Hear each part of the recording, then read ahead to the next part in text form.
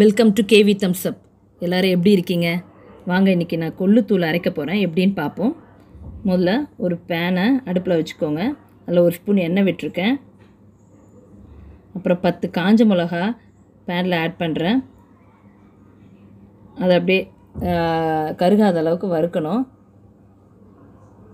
இப்போ வந்து ஃப்ளேம் வந்து நான் அதிகமாக வச்சுருக்கேன் நான். ஏன்னா பேட் சூ பேன் சூடேறி வறுக்கணுன்றதுக்காக. அப்பப்போ தேவையான அளவுக்கு நம்ம ஃப்ளேம் அட்ஜஸ்ட் பண்ணி அட்ஜஸ்ட் பண்ணி நம்ம வறுக்கணும். நெக்ஸ்ட்டு ஒரு க கைப்பிடி கருவேப்பிலை கழுவி வச்சுருக்கேன். அதையும் பேனில் ஆட் பண்ணி லைட்டாக அப்படியே வறுத்துப்போம்.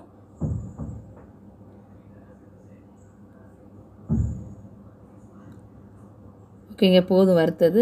பிளேட்டில் ட்ரான்ஸ்ஃபர் பண்ணிவிடுவோம் நெக்ஸ்ட்டு மாகாணியில் முக்கால் மாகாணி கொள்ளு எடுத்திருக்கேன். அதை இப்போ பேனில் ஆட் பண்ணிக்கலாம். அதையும் அப்படியே லைட்டாக ஸ்லோவாக அப்படியே ஸ்லோ வறுக்கணும். ஓகேங்க வறுத்தது போதும். இதையும் ட்ரான்ஸ்ஃபர் பண்ணிடுவோம் பிளேட்டில் நெக்ஸ்ட் ஒரு ஸ்பூன் எண்ணெய் விட்டுக்கணும்.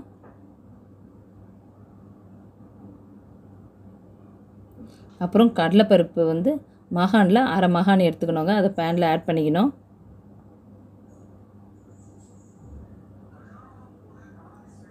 அப்படியே இதையும் வந்து கருகாத அளவுக்கு பார்த்து திட்டமாக வறுத்துக்கணும்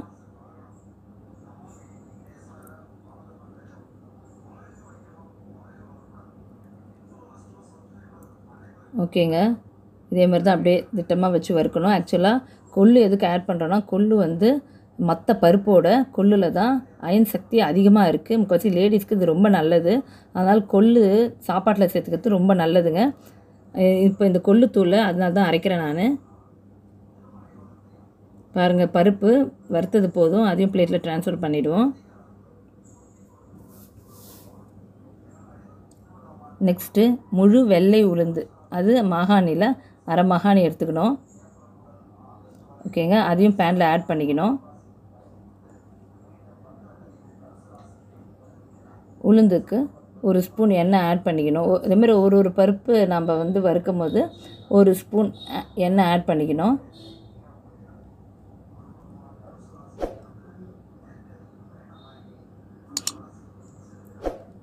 இதோ எண்ணெய் ஆட் பண்ணுறேன்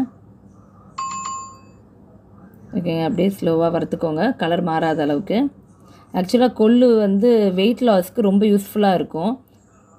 ஆனால் கூட எக்ஸசைஸ் செய்யணுங்க. பாருங்கள் உளுந்து வந்து சூப்பராக வறுபட்டுருது தீயவே இல்லை கலர் மாறலை பாருங்கள் ஓகே இதையும் பிளேட்டில் ட்ரான்ஸ்ஃபர் பண்ணிவிடுவோம் அப்புறம் தேவையான அளவுக்கு மிளகு. பாருங்கள் கொஞ்சோண்டு மிளகு அதே அளவு சீரகம். அதையும் எடுத்துக்கோங்க. ஓகே போதும். நெக்ஸ்ட்டு கல் உப்பு கொஞ்சம். அந்த தூளுக்கு தேவையான கல் உப்பு ஆட் பண்ணிக்கிறோம். அப்புறம் பெருங்காயத்தூள். சாம்பாருக்கெல்லாம் போடுறோம் இல்லைங்களா? அதே பெருங்காயத்தூள் நான் கட்டி யூஸ் பண்ணல. இந்த சாம்பார் ரசத்துக்கு போடுற பெருங்காயத்தூள் தான். அதுவும் ஆட் பண்ணுறேன்